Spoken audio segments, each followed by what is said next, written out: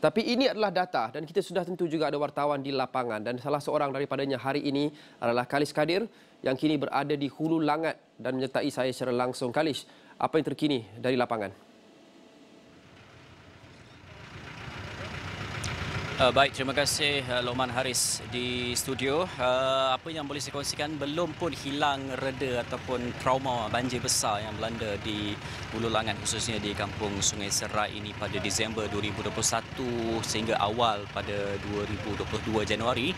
Uh, rakyat di sini sekali lagi diuji dengan banjir besar yang berlaku sepanjang Oktober ini walaupun peralihan monsun timur laut MTL dan uh, jangkaan banjir berlaku sekitar 17 sehingga uh, 20 Oktober namun nampaknya ia berlaku lebih awal iaitu pada 13 Oktober di sini uh, pada Sabtu terlapor banjir dan sekali uh, reda kemudian hari ini sekali lagi uh, berlakunya satu uh, banjir yang besar juga.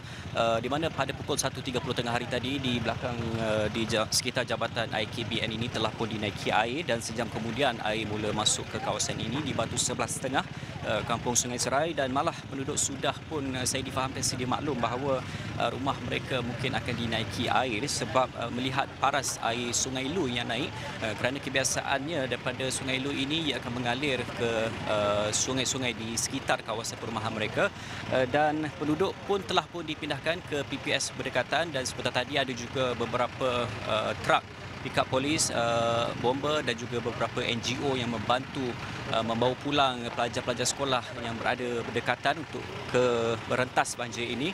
Uh, walaupun dari jam 5 petang sehingga walaupun sekarang ini masih lagi ada beberapa uh, kenderaan yang membawa mereka Uh, dan apa yang saya faham adalah air dari Sungai Lui dengan Sungai Pangsung uh, bertembung di Batu 18 yang menjadikan uh, air di Sungai Serai ini uh, semakin meningkat, melimpah dan memudahkan uh, apa, banjir ini uh, tercetus. Dan untuk lebih memahami uh, situasi banjir di sini, uh, saya ada seorang penduduk, Hazran, uh, mungkin boleh kongsikan bagaimana uh, situasi banjir ini berlaku pada awal.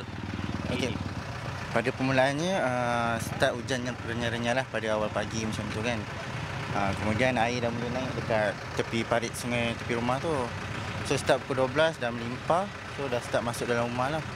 Uh, so start daripada situ hujan tak henti lah hujan renyah lah. So air melimpah macam keadaan kat belakang ni lah Baik, uh, itu mungkin sedikit daripada apa yang dikongsikan oleh penduduk di sini dan uh, sepanjang saya berada di sini dari jam 5 petang, uh, rata-rata penduduk mengharapkan uh, Jabatan Kerja Raya JKR uh, memperluaskan uh, ataupun mengorek uh, longkang dan sungai berdekatan untuk memastikan perjalanan uh, air melalui uh, di kawasan uh, Hulu Langan ini dapat berjalan dengan lancar. Saya kira mungkin setakat itu sahaja dahulu laporan saya di uh, Hulu Langan di Kampung Sungai Serai ini.